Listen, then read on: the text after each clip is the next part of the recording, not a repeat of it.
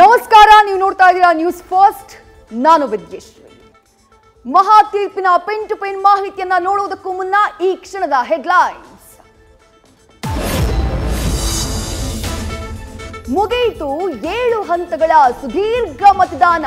ಇನ್ನು ಕೆಲವೇ ಗಂಟೆಗಳಲ್ಲಿ ದೇಶದ ಅತಿದೊಡ್ಡ ಪ್ರಜಾಪ್ರಭುತ್ವದ ನಾಯಕ ಯಾರು ಅನ್ನೋದು ಬಹಿರಂಗ.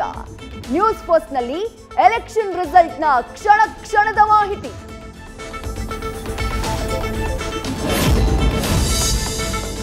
ಬಿಜೆಪಿ ಮೈತ್ರಿಗೆ ಅಭೂತಪೂರ್ವ ಫಲಿತಾಂಶ ನೀಡಿರುವ ಎಕ್ಸಿಟ್ ಪೋಲ್ಗಳು ರಿಸಲ್ಟ್ ನಿಜವಾದ್ರೆ ಪ್ರಧಾನಿಯಾಗಿ ನರೇಂದ್ರ ಮೋದಿ ಹ್ಯಾಟ್ರಿಕ್ ಸಾಧನೆ.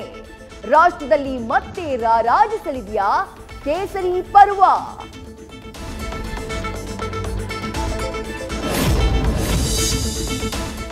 ಇಂಡಿಯಾ ಮೈತ್ರಿಕೂಟಕ್ಕೆ ಇವತ್ತು ಅಗ್ನಿ ಪರೀಕ್ಷೆ. ರಾಹುಲ್, ಅಖಿಲೇಶ್, ಸ್ಟಾಲಿನ್, ಕೇಜ್ರಿವಾಲ್ ಒಗ್ಗಟ್ಟಿನ ಮಂತ್ರ ಫಲ ಕೊಡುತ್ತಾ ಇಲ್ವಾ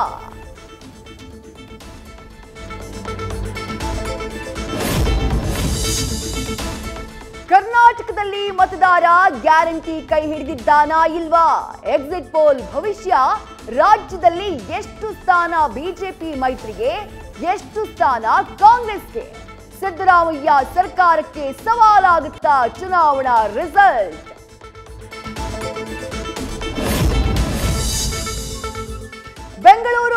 ಗ್ರಾಮಾಂತರದಲ್ಲಿ ಡಿಕೆ ಶಿವಕುಮಾರ್ ಪ್ರತಿಷ್ಠೆಗೆ ಪುರಸ್ಕಾರ ಸಿಗುತ್ತೋ ಪೆಟ್ಟು ಬೀಳುತ್ತೋ?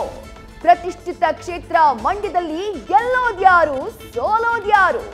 ಅಪಕೀರ್ತಿಯ ನಡುವೆಯೂ ಹಾಸನದಲ್ಲಿ ಪ್ರಜ್ವಲ್ ರೇವಣ್ಣ ಭವಿಷ್ಯ ಏನು?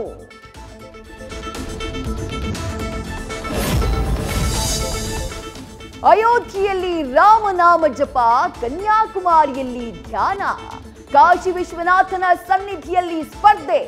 ಗೆಲುವಿನ ಅಂತರದಲ್ಲಿ ದಾಖಲೆ ನಿರ್ಮಿಸ್ತಾರ ನರೇಂದ್ರ ಮೋದಿ.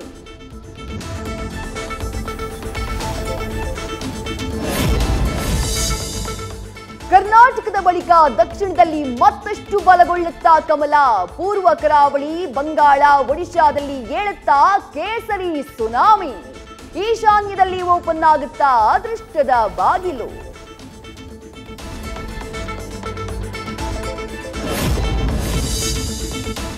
ಆಂಧ್ರ ಪ್ರದೇಶ ವಿಧಾನಸಭಾ ಚುನಾವಣೆ ಫಲಿತಾಂಶವೂ ಇಂದೇ ಪ್ರಕಟ. ಜಗನ್ಮೋಹನ್ ರೆಡ್ಡಿಗೆ ಚೆಕ್ ಮೇಟ್ ಕೊಡ್ತಾರಾ ಚಂದ್ರಬಾಬು ನಾಯ್ಡು, ಪವನ್ ಕಲ್ಯಾಣ್ ಜೋಡಿ. ಒಡಿಶಾದಲ್ಲಿ ಮುಂದುವರಿಯಲಿದೆಯಾ ನವೀನ್ ಪಟ್ನಾಯಕ್ ದಂಡಯಾತ್ರೆ?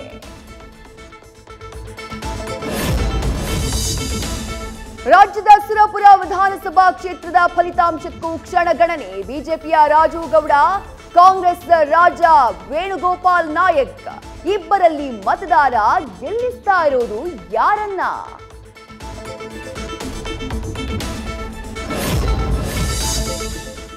ಷೇರು ಮಾರುಕಟ್ಟೆಯಲ್ಲಿ ವಾರಕ್ಕೆ ಮೊದಲು ಕಂಪನ, ಎಕ್ಸಿಟ್ ಪೋಲ್ ನಂತರ ನಾಗಾಲೋಟ.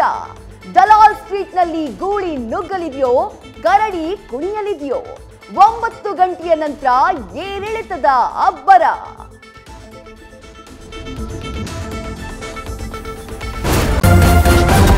News first. ನಿರ್ಭೀತಿಯಿಂದ ನಿಮ್ಮ ಪರವಾಗಿ.